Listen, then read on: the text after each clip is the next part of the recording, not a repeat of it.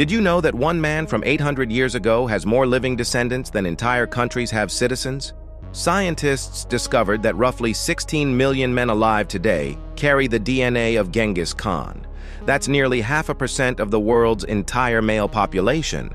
Normally, genetic inheritance dilutes over generations, but Khan's biological legacy is unprecedented. Researchers found a specific Y chromosome marker that traces directly back to the Mongol Empire's founder. The mathematical implications are staggering. One person from the 13th century has living descendants numbering more than the populations of Belgium or Greece.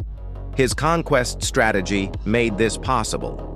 Across the largest land empire in history, Khan's forces captured populations from Eastern Europe to the Pacific Ocean.